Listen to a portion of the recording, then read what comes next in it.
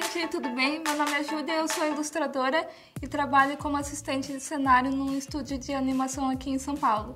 Eu vim aqui falar sobre neotenia com vocês. Para biologia, basicamente neotenia é quando o indivíduo já adulto carrega traços da, de quando ele era mais jovem.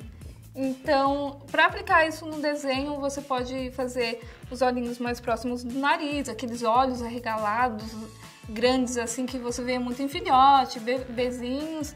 Então, é, por exemplo, aqui no cachorrinho, ele é todo meio cápsula, assim, todo contidinho, todo fofinho, é, minizinho, né? E o jeito que ela segura com as mãos pequenas, é, os pezinhos mais simplificados, formas simples geralmente mostram que o seu personagem vai ser mais fofinho, que ele vai ser mais feliz, que ele vai ser mais tranquilo. A fofura que eu coloco nos meus trabalhos são todas movidas pelo olhinho grande, né? A boquinha pequena, sempre os olhos próximos do nariz. Também a gente vê os membros mais afofinhados, tipo um cotovelo mais arredondado, forma simples.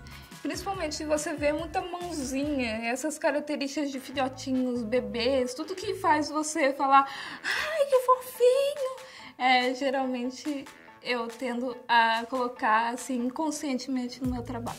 O que você vê nesse fanart, você olha diretamente para os olhos, porque é o meu, foi o meu enfoque é, quando eu estava fazendo esse desenho. Eu queria fazer que as pessoas olhassem para a fofura do, dos olhinhos, aí depois para seguisse para a boquinha e, e é, focando nessa coisa da fofura dos olhos, das partes pequenininhas, das mãozinhas e da, dessa texturinha de nuvem para você ver que realmente a coisa é baseada em fofurices.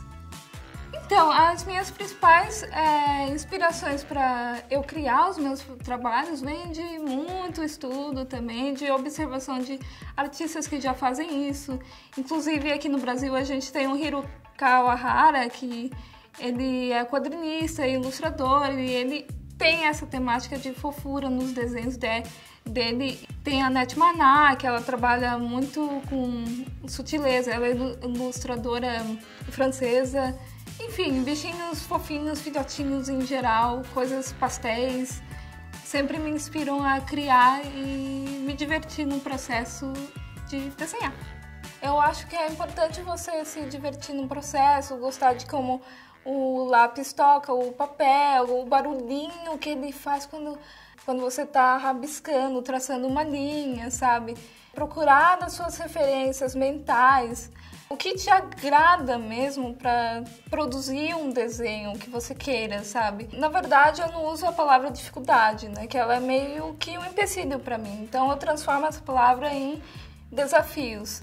Então, os principais desafios foi pegar a minha ideia inicial, por exemplo, na ovelhinha. Eu tinha várias ideias para fazer. Ah, poderia fazer ela correndo, poderia fazer ela dormindo, é, mas eu queria me, me concentrar em mostrar os olhinhos dela, né? Então eu pensei, ah, tá, ok, eu tenho que é, fazer ela mais sentadinha, mais meio fofinha, assim.